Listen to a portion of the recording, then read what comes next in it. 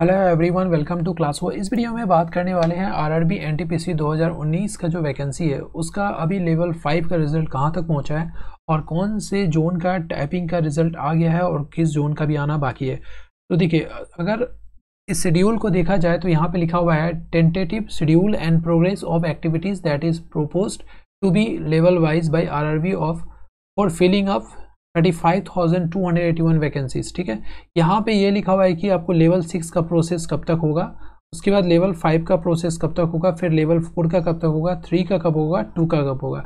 अगर हम लोग बात करते हैं लेवल फाइव का तो यहाँ पे देखिए क्या लिखा हुआ है? Third week of November result of final stage यानी कि जो लेवल फाइव का रिज़ल्ट कब तक आएगा? यहाँ पे देखिए क्या लिखा हुआ है? थर्ड वीक ऑफ़ नवंबर, ठीक है? थर्ड वीक ऑफ़ नवंबर को रिज़ल्ट आ जाएगा।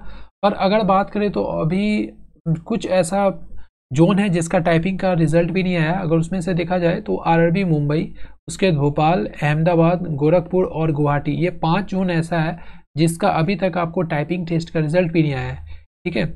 और इसको देखें, इसको तो यहाँ पे लिखा हुआ है, रिज़ल्ट आने की संभावना है मतलब ऑनवर्ड्स लिखा हुआ है। टेंटेटिव है ये। देखिए, यहाँ पे क्या लिखा हुआ है? थर्ड वीक ऑफ़ नवंबर अब टाइपिंग टेस्ट का रिज़ल्ट पहले आप डिक्लेयर किया जाएगा।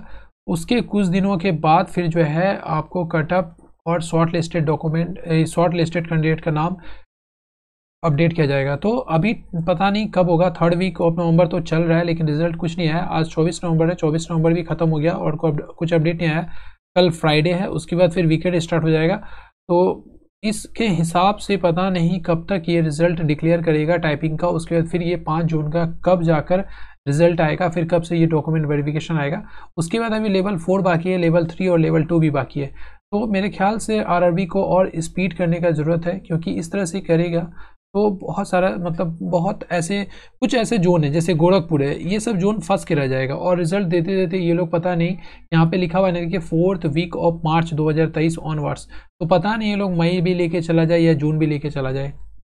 अब देखिए, बात करते हैं यहाँ पे टाइपिंग का। तो टाइपिंग का इतने सारे जोन का जो रिज़ल्ट आया, आज किसी भी जोन का रिज़ल्ट नहीं आया टाइपिंग का। पाँच जोन बाकी है। टोटल सोलह जोन का रिज़ल्ट आ चुका है, जिसमें कि बेंगलुरु इलाहाबाद मुजफ्फरपुर, पटना, आप देख सकते हैं यहाँ पर इतने सारे रिज़ल्ट आ गया है। और कुछ अपडेट है, जैसे कि यहाँ पे अजमेर, चेन्नई, सिलीगुड़ी, भुवनेश्वर का जो मतलब शॉर्ट लिस्टेड कैंडिडेट है, वो डीवी का कॉल लेटर डाउनलोड कर सकते हैं, ये अपडेट है। और बाकी जो अपडेट यहाँ पे लेवल सिक्स के लिए है, ठीक है? देखिए, इतने सारे जो लेवल है, यहाँ पे जो लिखा हुआ है, सारे, सारा आर का लेवल फाइव का रिज़ल्ट डिक्लेयर कर दिया गया है, जिसमें कि आपको सिलीगुड़ी अजमेर भुवनेश्वर, चेन्नई। चेन्नई का भी आपको रिज़ल्ट आ गया है।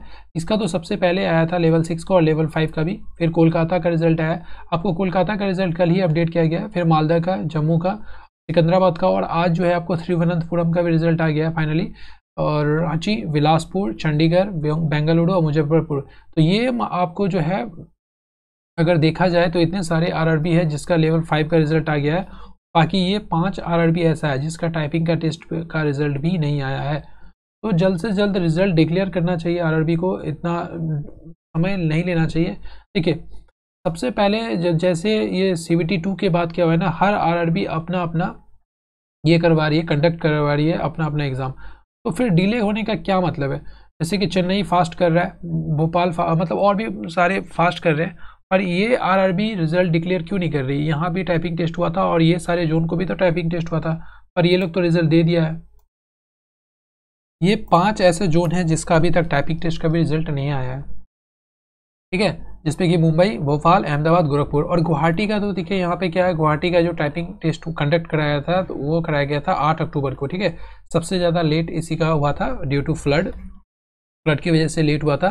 तो टाइपिंग टेस्ट इसका भी ऑलमोस्ट फोर्टी फाइव डेज़ हो चुका है, लेकिन रिज़ल्ट कुछ आया नहीं है। उसके बाद अभी टाइपिंग का रिज़ल्ट आएगा, फिर जाकर उसको आपको कुछ दिनों के बाद डीवी लिस्ट आएगा लेवल फाइव का, फिर डॉक्यूमेंट वेरिफिकेशन फिर सेकेंड डी लिस्ट भी आएगा।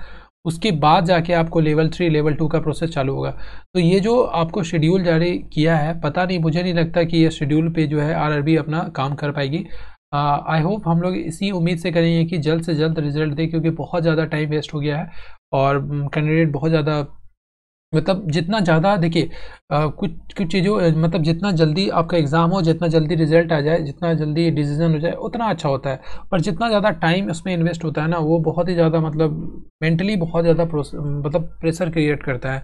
आई होप आप लोग समझ पा रहे होंगे, क्योंकि इसमें बहुत सारे लोगों का उम्मीद भी जुड़ जाता है और फिर हम लोग दूसरे एग्ज़ाम में फोकस नहीं कर पाते हैं। तो पता नहीं, जल्द से जल्द रिज़ल्ट डिक्लेयर करना चाहिए और ये पाँच जोन का तो टाइपिंग टेस्ट रिज़ल्ट आना चाहिए। आई उम्मीद करते हैं कि कल शायद इसमें से कुछ जोन का रिज़ल्ट आ जाए या सभी का आ जाए तो और अच्छा है। बाकी जो भी अपडेट होगा तो हम लोग डिस्कस करने वाले हैं। तो आप चैनल को सब्सक्राइब कर लीजिए और इस वीडियो को शेयर कीजिए वीडियो को लाइक ज़रूर कीजिएगा। बाकी जो भी कटअप का प्रडिक्शन किया गया, मेरे द्वारा देखिए मैच कर रहा है।